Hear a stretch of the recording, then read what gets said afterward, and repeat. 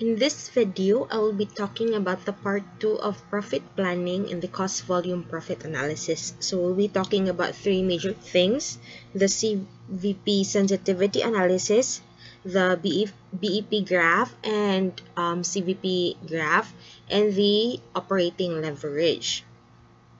So to start, we'll have let's move on to CVP sensitivity analysis. So if you remember before in the basic CVP assumption, it's stated there that all other things or all other variables of profit remains constant throughout. However, in reality, that is not usually the case. So, in reality, there are really, or in the real world, there are really changes that impacts the profit of the companies as, as a whole. So, it doesn't necessarily apply na constant permi ang imuhang sales or uh, not sales, imuhang um, variable cost, imuhang fixed cost, di ba? Like for example, your fixed cost, di ba? Your fixed cost changes kada month, kay magdepende sa imuhang bill baron. So, dili jud constant always ang imuhang mga variables that affect the profit. So, that is why na ay sensitivity analysis also in your CVP. Now, I know you're already familiar with sensitivity analysis kay nana ni sa BA 424 before, the bansay, diba? Kato is linear analysis ganito. So, more on computation. So, mura lang yapog ingon ani ang sa CVP sensitivity analysis. So, unsay impact if na ay change or unsay impact sa imuhang profit if there are changes in your variables. So, Again, those variables mentioned can either be sales price, variable cost, fixed cost, or the sales mix. So again, it concerns about predicting the outcome of profit given the changes in variables that I mentioned. So to fully understand it, let's have an example. So here in your in the Excel side, you can see here, Dinga company established the following information which this information is na nasa katong gibalik ra atong akong gigamit for previous sa previous nga discussion no? So given a unit sales price of 350 variable cost of 190 total fixed cost of 380 and units sold of 500 now here in the left side you can see uh, I noted the amounts so that you would know the original amounts diba so prior to the changes, these are the amounts na given. So, you have a total sales of 1,750 down to the margin of safety in pesos of 918,750. So, mo na siya ang before sa imuhang mga changes. Now, as I mentioned, sensitive CVP sensitivity analysis deals with changes, diba? So, let's have here an example. So, for example daw, your unit sales price will increase by 20%. Now, what we are trying to do here is understand the impact of one change or one variable change to the other factors. So, on say change if na increase in sales price, what would happen to your variable cost, what would happen to your fixed cost, what would happen to your profit, break-even, margin of safety, and so on. So, that is what we are trying to understand here. So, again, the example or first um, scenario is that the oh, I'm so sorry there is an increase by 20% of your unit sales price. Now again, be careful of the statement or the um, preposition used if by, basha, or to because again, there are different things. So in here, it is stated increased by 20% ang imuhang sales price. So let's manipulate this one. And then since increase by 20% man siya. So by man so punan siya og 20% so the sales price would then become or multiply na to 1.2 so see look at the changes that happen so again you have here on your left side the original values, and the changed values here in the Excel part. Now, let's start with our um, contribution margin. So, of course, as you have noticed, your if there is an increase in your unit sales price, your contribution margin also increased. So from 800, nahimo siyang 1,150,000. So there is, since there's an increase in your contribution margin, of course, there is also an increase in your contribution margin rate. Diba? Ano naman siya increase? Because your, your fixed cost, uh, no, not your fixed cost, but your variable cost remain the same. Diba? Ang imong sales price lang ang ni increase. So, of course, there is an increase in your, it would result in an increase in your CMR. Now, another thing that we can look at is our profit. So, of course, with an increase in unit sales price, you can also notice an increase in your profit. So, from 420, it became 770. Another thing is let's look at your break-even point. Now, your break-even point, what happened is that it decreased. Yes, so from 2375, di ba, ang BEP per unit, uh, unit in units is only 1652.17. So there is an increase in your BEP. Now again, why is there an increase? Uh, why is there a decrease in your um, BEP? Of course, ni Dako man ang imuhang sales price. And then, di ba, they have indirect relationship. So, that is why there is a decrease in your break-even point. Now, as to your margin of safety, your mar margin of safety has increased. So, from 2625, nahimo na siyang 3347. So, unsa ra ang inyong nakit are or let's recap again if on if there is an increase in your unit sales price your contribution margin profit and margin of safety increased while only your break even point decreased so mo na ang nahitabo dinhi now let's try to move on to another example or let's have another example this time what change is your unit variable cost. So again, what we are changing or what changed is your unit variable cost. So it increased by 10%. So let's add 10%. So here, you've already seen the changes. Now, as you can see, if there is an increase in your unit variable cost, let's first look at our contribution margin. So, for our contribution margin, you have noticed that there is a man, there is a decrease in your contribution margin. So, thus causing a decrease in your contribution margin rate as well. Now, as to your profit, diba, your profit also, ano sabi ng profit? Your profit decrease. Okay? Diba, ni gamay man imuhang contribution margin. So, meaning, gamay po ng imuhang profit. So, that is the effect of a change in your unit variable cost. Now, as to your break-even point, as you can see here, your break-even point increased. So, there is an increase in your break-even point. And then, there is a decrease in your margin of safety. So, as you may have noticed, di ba, more opposite iyahang effect sa katong change nimo or increase nimo sa imuhang unit sales price. So, mo na siya. So again, if there is an increase in your unit sales price, what increased is only your break-even break-even point. The rest kay decrease ang iyahang impact. So, mo na imuhang hinumduman.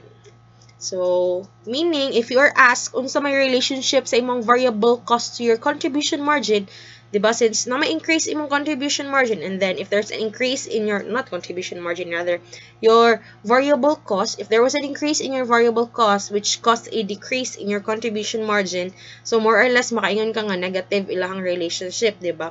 Or indirect. Same with your profit and your margin of safety. Which again, as I mentioned, opposite sa katong hitabo nga nata increase in our sales or sales price. Now, let's move on to the third example, which is diri ang atong change na is our fixed cost. So in here, there is a decrease in our fixed cost. So again, decrease to Oo ha, decrease to. As I mentioned, be careful with the prepositions if by or to ba ang gigamit. So, if it decreased to 350, so let's just change that to 350.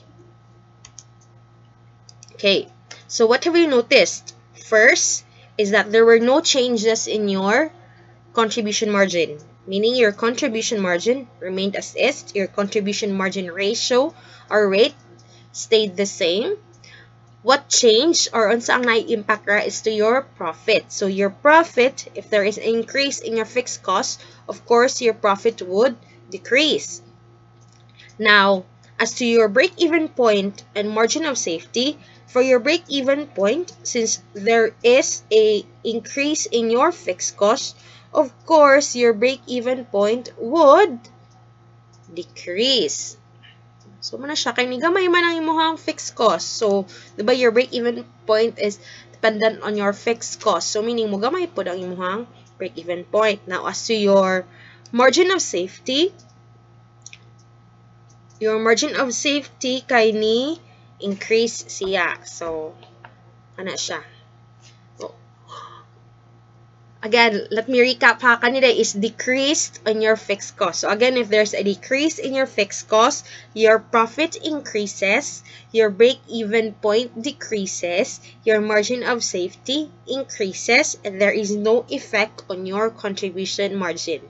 So pag opposite sad, if your fixed cost increases, your profit decreases, your break-even point increases, and your margin of safety decreases. So ana lang na siya.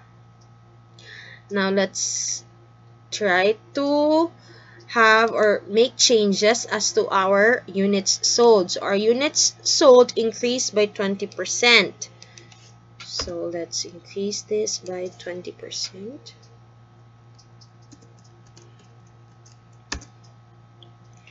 Okay, so what have you noticed? If there is an increase in units sold, uh, first, is that there is an increase in your um what you call this? Contribution margin. However take note that if you look at your contribution margin rate let's contribution margin rate diba? this is the original because I forgot to place it here for the rates the original is 45.71 for the CMR. Now, if we go back,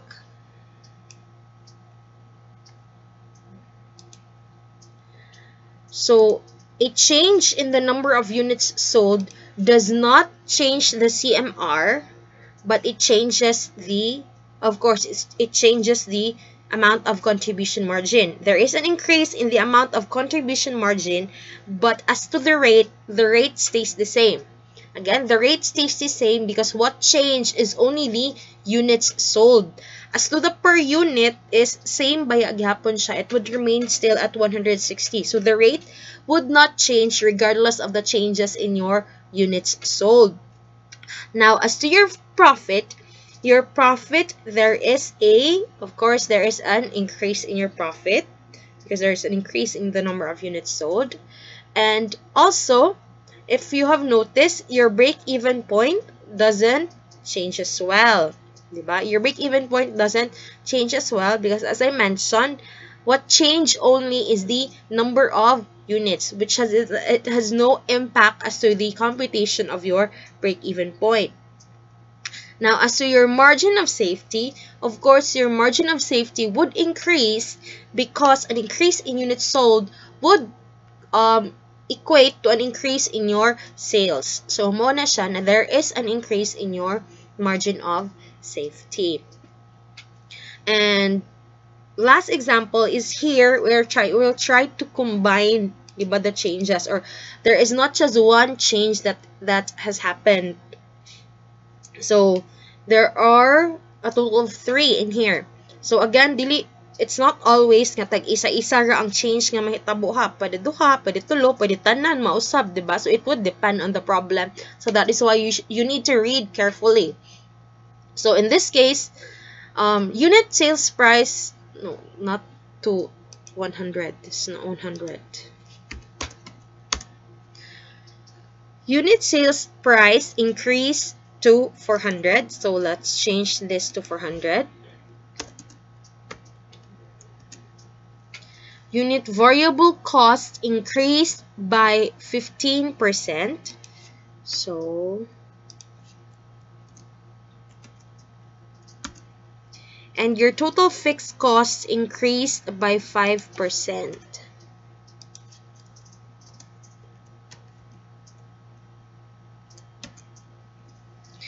Okay, so given the following changes, na na siya. There is, it would be harder to really accurately determine the impact of each of each because di ba lahi-lahi ba og treatment or lahi-lahi ba og impact ang kada variable to your profit unlike if i-mix na sila. Because if there are more than two change or if there are more than one change that occurred is pwede ba it's either mo complement ang ilang changes or mo offset so like for example diba in our preview um in the previous katong mga previous examples ato ganiha the increase in sales price the increase in sales price cost an increase in profit Diba? Mo to siya ang general rule. The increase in your unit sales price cost an increase in your profit. However, an increase in your unit variable cost generally decreases your profit. Diba? Mo to siya. Katon sa babaw, ganihang first previous examples. The increase in unit sales price generally increased your profit, though an increase in your variable cost generally decreases your profit. That is why, if we are already dealing with more than one change, it is harder to determine the relationship yun, like like general relationship. We cannot say there is an increase in sales price and an increase in variable cost. It would total to a an um, net increase in your profit, diba? It's not like that because it would depend on the amount of increases nila as to their total impact. But what you just need to know is to take into account all the changes para kabaw ka kung pila ang total change or pila ang iyang total impact sa imuhang profit and to the other properties as well.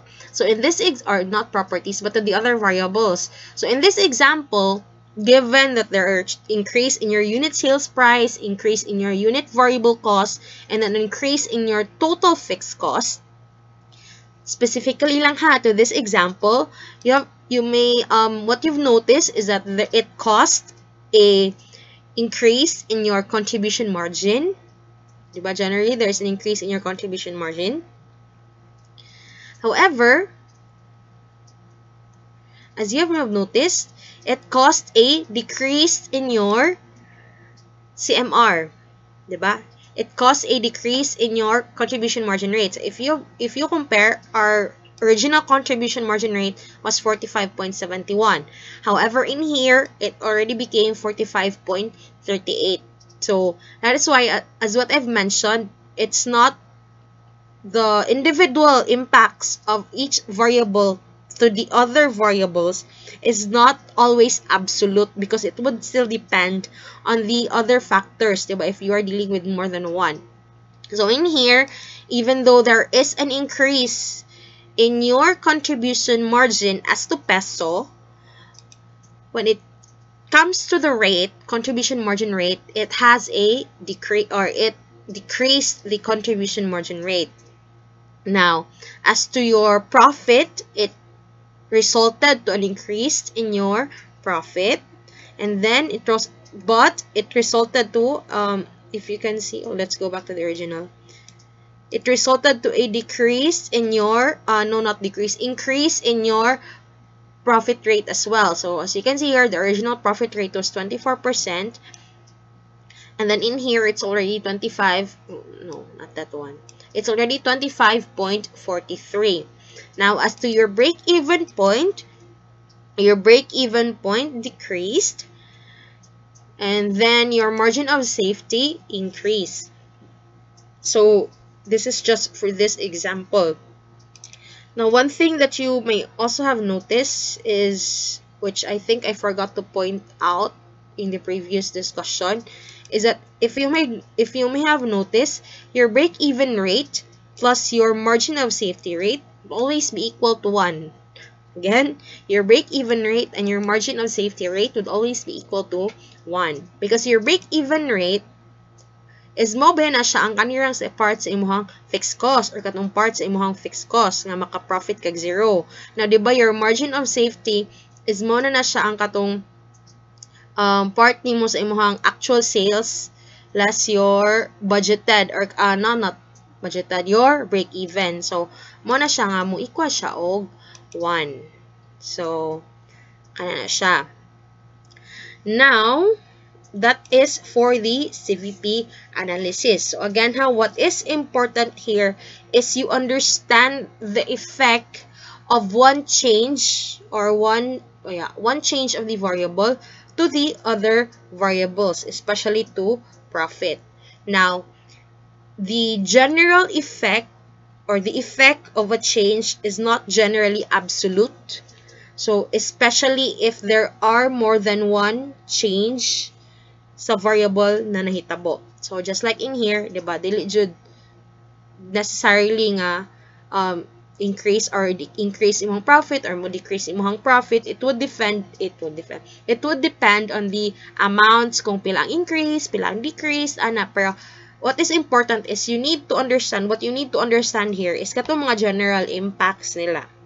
So, general impacts nga, katong sila lang isa ba, like sales price, generally maka-increase increase in sales price generally increases profit. Kana lang kana lang na relationship imo dapat hinumduman. So for example an increase in unit variable cost di ba um, an, an increase in unit variable cost generally increases break-even point. So, ina na lang, kana na mga relationships ang dapat ninyong hinumduman. Because once you understand that, whatever values ang gihatag diri is makuha naman na ninyo 'di ba? Whatever values ang gihatag, whatever values ang given, if you understand the relationship of one factor to another, is makuha na ninyo ang total change nga gipangita or ang impact nga gipangita.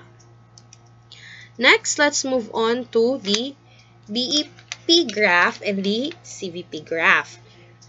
So BEP graph or break-even point graph assumes that the production and sales level are within the relevant range and thus it follows the assumption of linearity behavior of revenues and costs. This graph is often used for short-term planning and controlling purposes. So kanya tong BEP graph is nang follow siya atong katong ato ang basic, 'di ba sa atong CVP nga assumption, uh, basic CVP assumptions. Kani ang follow ani sa to ang BEP graph. So, I will show you. Okay. So, given the following data, so naman ni, you have these data, and then, oh, you have a unit sales price of 20, variable cost of 12, and then, naka-formula na na siya, para makuha imuhang profit. Now, below is the graph. As you can see here, the blue line is the graph for your total sales. So, kaning total sales na column. Now, your orange line, or let's, no, let's um, backtrack sa total sales. As you can see here, your total, your total sales is unsa man siyang nahitabo na siya upward na slope pa so um your totals if there is an increase in your units which kanina sa ubos if there is an increase in your units your um value or your amount of amount amount man sa or your actual sales would also increase. So mo niya nasa imong vertical axis. So again if your profit or no not profit if your production increases madako pod ang imuhang um, value. Now as you can see here arita sa ato uh, or ari sa inyong um what you call this total fixed cost your total fixed cost is naka kaning orange is horizontally flat meaning your fixed cost is constant. Regardless of the um, number of units, is your fixed cost would remain the same. Now, anita sa your total variable cost. Your total variable cost is kaning imuhang gray. So, ano siya? Your total variable cost is also the same, di ba? Is linear siya with your linear in her relationship. So, na ay increase in your units is mo increase pa mo hang cost. Now, your total cost, if you can notice here, your total cost did not start at zero. Diba? Your total cost started sa imuhang fixed cost. O, diba? Arisa, nag-meet siya diri sa imong fixed cost, which is at the 800. So, mo na din na ang imuhang total cost. And as you can see, parallel siya sa imuhang um, var total variable cost. So, ang ihalang difference here is katong sa starting point niya, which is your fixed cost. So, same, inana po ang imuhang, or inana ang trend sa imuhang um, total cost. Now, let's try, or um, let's try to see the changes in the graph if na po tayo changes ato ang mga values, no? So, oh, before that, eh, before I forget, is if you have noticed, the line or the intersection point kani, the intersection point of your total cost and your total sales, so of course, that is your break-even point. So, kaning intersection, again, the intersection of your total sales and your total cost sa imuhang graph is your break-even point. So, your break-even point, diri palang daan, is you can point out already that your break-even point is at 100 na units. Break-even point in units is 100. And then break-even point in pesos is 2 million. So, this is your break-even point. Now, another thing that um, if you noticed is the difference between your total sales and your total variable cost. That is your contribution margin. So kani siyang kani siyang space diri ah nga to nang i-highlight or nga to i-shade. That is your contribution margin. So again, your contribution margin is your total sales minus your total variable cost.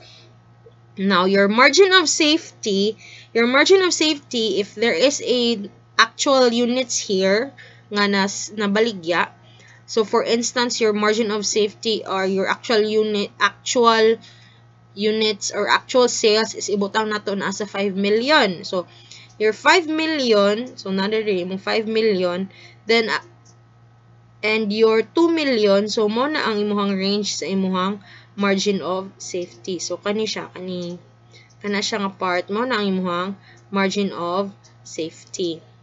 So ana siya. Now again let's try to look at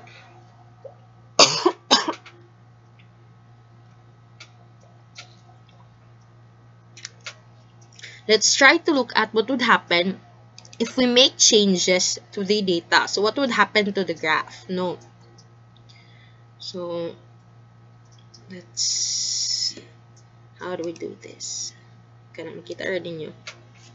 Okay, so, first, it's, let's try to have an increase, or ato tong i, buhato na itong mga changes nga gigamit ganiha, no? Sa to example sa CV, uh, sensitivity analysis. So, first, let's try um, there is an increase in your unit sales price of 20%. So for instance, this is your unit sales price.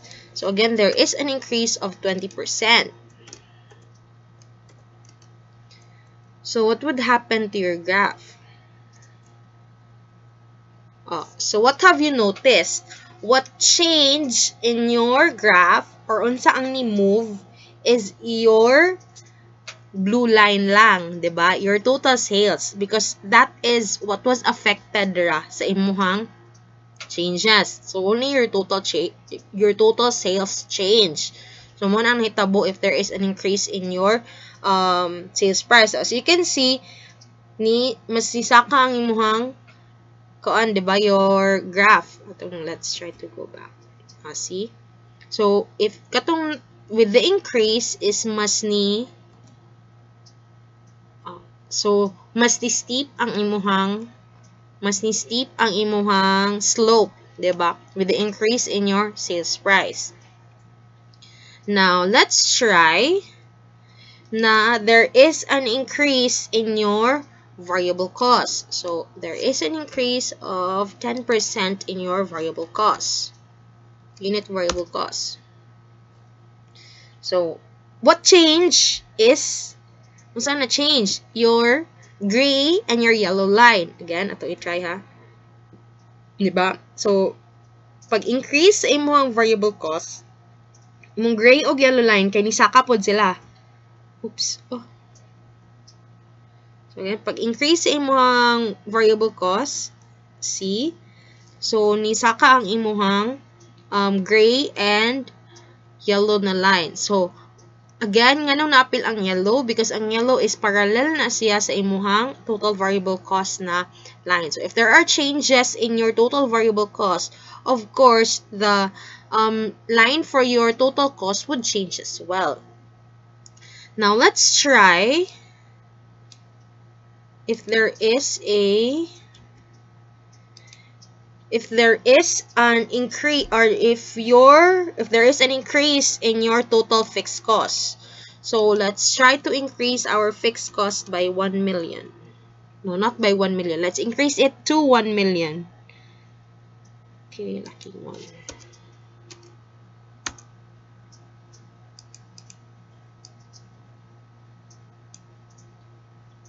Okay so what change here is your orange na line and your yellow na line. So, of course, your fixed cost is still horizontal. Still horizontal. Flat cap siya.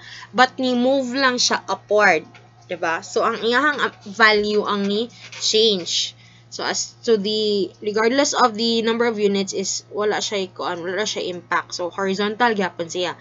And also, your total cost. Your total cost is mas nilayo lang siya sa imuhang variable cost tungod kay mas nilayo man pod ang iyahang starting point. Di ba your the starting point of your total cost is your total fixed cost. So since na ma-increase imong total fixed cost, so the distance between your total variable cost and total cost increased as well.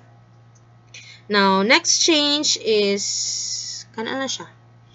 If again if there are combined changes na dire, so For example, o, ato na to ipang-combine ang mga changes na to ganiha. Mm. So, your graph would change as well depending on the changes na nahitabo. So, ano lang na siya. This is your PEP graph. Now, as you have noticed is ang iyaharag yun is kung unsay changes sa imong revenue, unsay changes sa imong um, cost. Diba? So, linear rang or linear assumption rang yang gigamit. Now, if we move on to CVP, CVP graph, the CVP graph puts emphasis on the behavior of profit over the different levels of production. Ganiha sa BEP, ang atoa is ang behavior sa revenue o cost ang ato ang gigraph. Sa CVP, ang profit ang atong gigiven og emphasis. So, dire is isa na lang atong line. Diba? We only have here the profit na line.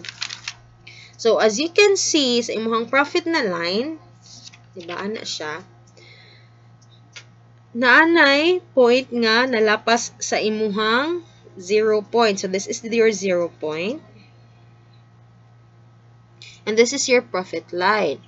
Now, in your profit line, ma-identify na dayon mo automatically where is your break-even point because you can identify where your break-even point is because ang break-even point nimo is katong point kung asa zero ang imuhang um, profit or loss. So, this is your profit or loss na value, di ba? This is your sales.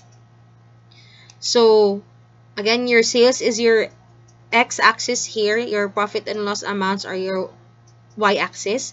So the profit line is ma-identify na nimo as ang break-even point because that is the point wherein your profit line intersected with the x-axis. So kani siya, kani siya nga point diri, can intersect sa imong x-axis, that is your break-even point.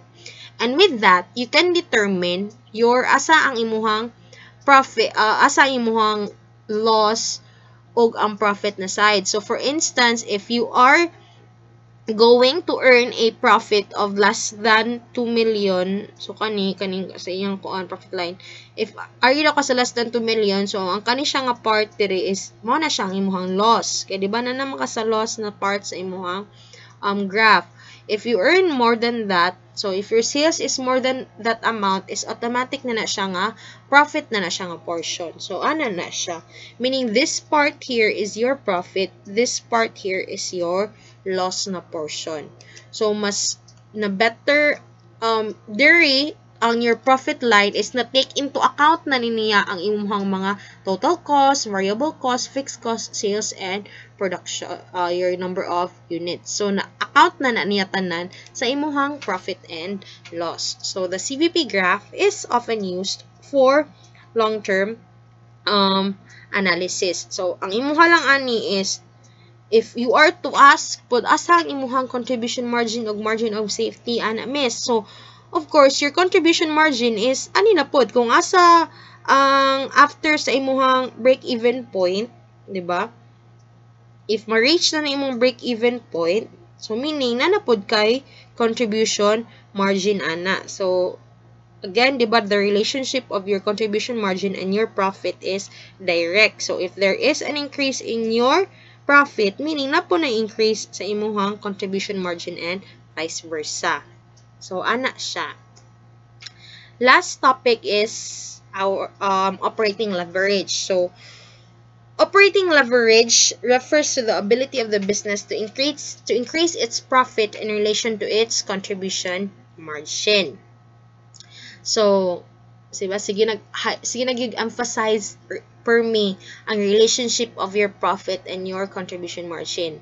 Now, in here to determine the degree of operating leverage, we can get it by dividing the contribution margin by your EBIT or your earnings before income tax.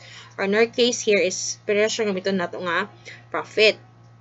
So, let's have an example to further understand it. So, another way they have getting the DOL is your change in your EBIT divided by your change in your percentage uh, percentage change in your sales. So, let's have an example. So, kani, same gyapon sa itong data before. ba diba? So, what change or ang ato ang kuanon diri is we have to get the degree of operating leverage. So, how do we get it? Again, our degree of operating or ang question here man is what would happen, di ba? What would happen to your profit or earnings before income tax if there is a change, there is a percentage change increase of uh, there is if your sales rather increased by 40%. So again, ang question na to ani is how much is the percentage change of your earnings before tax or your profit if there is an increase of 40% in your sales. So that is what we are trying to find out.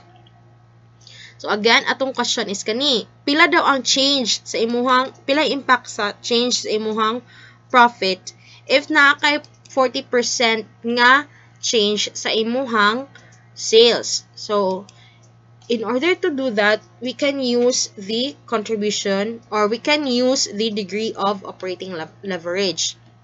So again, in getting our DOL, that is simply our contribution margin divided by our profit. Diba?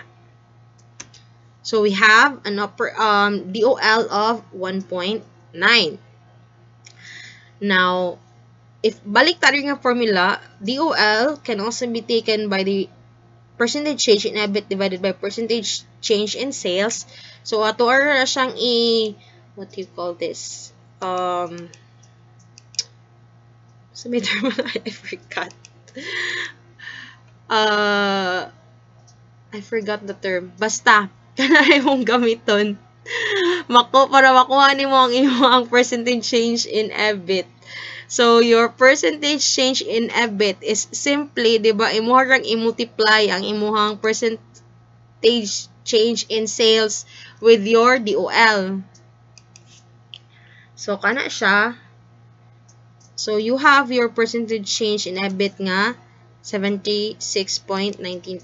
Now, your ang pag-analyze nimo ani or your interpretation is that if there is a 40% change in your sales, your prop your profit would then have a 76.19% change as well.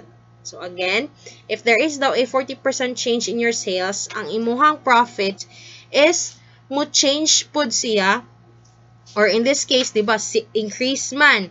So, if there is a 40% increase in your sales, your profit would have a 76.19% increase. So, nganong increase man, miss? Di ba? Gusto mo paghibang increase.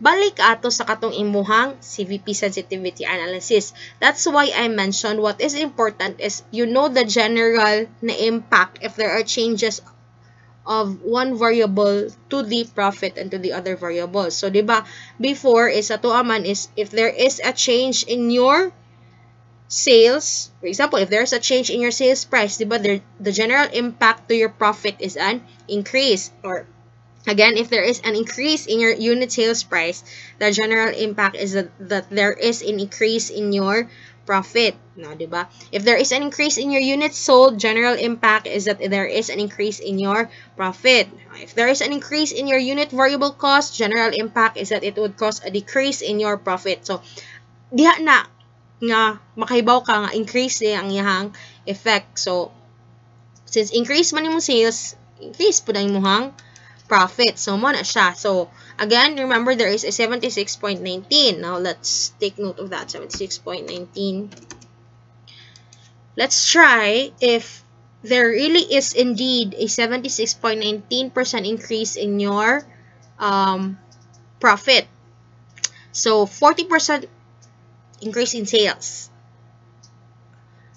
Unsa to increase ani atong unit sales price ba? Atong variable cost ba? Atong fixed cost ba? Atong unit sold ba? Since ang gimension naman is sales so of course ang ato ang uh, general ko na assumption is ang imuhang units sold. So para ma-increase imong sale uh, imong sales is ba na kay general increase in your units sold. So there is a 40% increase in your sales Okay. So, as you can see, balik da ita aning sa katong original so that you will know. Di ba? Mao ang katong original.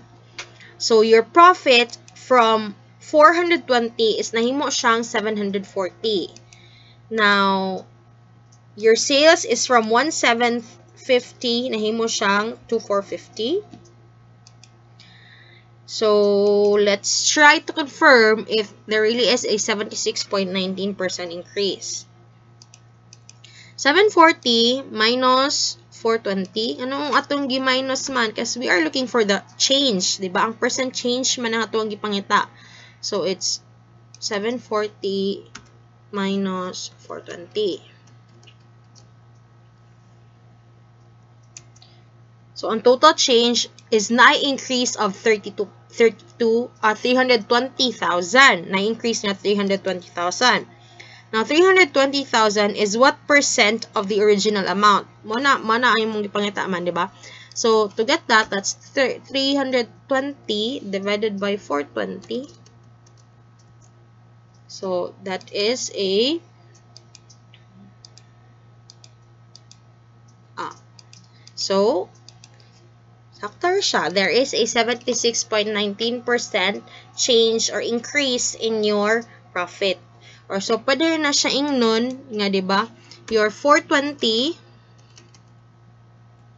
420,000 times 1.7619. Ana, di ba kay increase by 17619 ba ya? So, 7399 or kay since na round off man na to ato ang kuan gani ha. So kana siya or 740. So therefore, 'di ba? Ma-understand nimo or makakuha na ka sa imuhang or ma imuha nang ma-anticipate your percentage change in your profit given sa percentage change pa lang daan sa imuhang sales. Now, another way of getting the degree of operating leverage is through your margin of safety. So this is the last part already. Let's just um, this. Okay. So again, you can get your degree of operating leverage through your margin of safety. That is simply 1 divided by your MSR. Again, 1 divided by your MSR or margin of safety na rate. So let's try if parehas ba. 1 divided by your margin of safety na rate, which is 1.9. Now, Nganong parehas na siya gawas miss? If you remember, Alright, atanda na itong formula. Oh. Okay. If you remember, di ba, your MSR, if ma-remember mo itong, uh, no, not this one. Not this one. oh, this one. Di ba? Your MSR is your net profit rate divided by your CMR. Di ba? Mao na imuhang MSR. Now, your DOL is your CMR, your contribution margin divided by your profit. Di ba? Or CMR divided by your NPR. So, meaning, if we apply math, di ba? Reciprocal na siya ang imuhang um, DOL. So, imuha siyang i-reciprocal ang kato imuhang MSR Kay para mabalito imuhang CMR ug NPR. Kagets ra. Kala sa math ba? I hope kagets ra mo. Pero basta mo na siyang iyahang relationship nga nganong makuha or nganong makuha po nimo ang DOL gamit ang imuhang MSR because again your M your MSR is your CMR times your NPR, di ba? Then ang imuhang DOL ba is nag-deal good gap sad siya sa imuhang contribution margin o sa imuhang profit. 'Di ba? Kani sa imuhang CMR is 'di ba? Kuan sabihin ni siya your if basta ka-gets mo. I don't know if you can really imagine it pero kana lang ang imuha ani is uh, the relationship or unsa ang nag-connect ni MSR ug ni DOL. So ang nag-connect ni MSR ug ni DOL is the contribution margin ug si profit, di ba? Sila ang ga-connect, silang duha ang ga-connect ni MSR ug DOL. Mao na nga makuha ra nimo ang DOL gamit si MSR. Kay di ba si again as I mentioned, technically si DOL is si uh, contribution margin divided by profit. Now si MSR is your profit divided by your contribution margin. 'Di ba? Kagets ra? So, bali ra siya. So, meaning, si, mura siya, DOL is equal to your, kanag sa math, ni mo nga reciprocal, ra ni mo siya. So, i1 divided by the reciprocal or the number itself. So, kana reciprocal of the number. So, in ana na siya nahitabo sa MSR o sa DOL. So, I hope nakagets ra mo.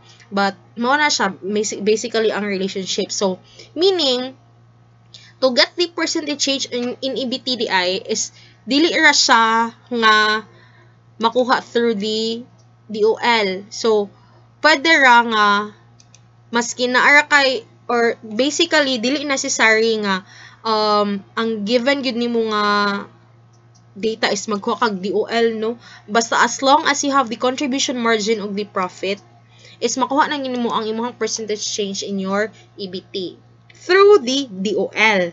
Pero as again, as I mentioned, is dili always na explicitly given ang imuhang DOL. So, most of the time is ikaw pa ang mag-compute ana. Na in getting your DOL is mo to siya you need to remember you can get your DOL if even if you're only given the MSR or you can get the DOL even if ang gihatag ra sa imo is ang contribution margin ug ang MSR. So, di ba, kailangan pa nimo makuha ang imuhang profit which mag-work back, work back ra kaana or mag unsa may term na kanang letter D na term I forgot the term in math uh, basta kana siya. So kana lang that is all about the operating leverage. And that ends the discussion on profit planning and cost volume profit analysis. So again what is important here or what should be emphasized aside from the formulas no? You can understand the formulas best if you understand the relationships. Again you can understand the formulas best if you understand the relationships. So if makasabot na kasi relationship katong increase decrease kana um unsay connection like for example how is DOL connected from MSR di ba? How is MSR connected to your break-even point, ba? So, if makasabot ka ana ang ilahang mga relationships with each other, is dali na lang gid kay nimo pag-think or pag-remember sa mga formulas because the formulas are based rasad sa relationships. So, mo na imuhang timailhan gyud. The formulas are just based on the relationships. So, mo na basic good or the foundation is you need to understand the relationships of the variables of the variables to profit and the variables to other variables para makasabot ka on how to get things. Even if kanang feel nimo makuha ba day ang ingon ani nga kanir ang given. So wala ka kabaw is na na sila yung mga common ground 'di ba so asa na sila nga murag mag-meet sila. So mo na imuhang kailangan i-understand or imong kailangan hinumduman gyud. So kana lang siya and hopefully you've understood profit planning and cost volume profit analysis. This is a very easy topic. Easy pa ni for me. Uh, easy, easy, easy man yun ang math. Pero, kana siya, one of the easiest lang ni siya.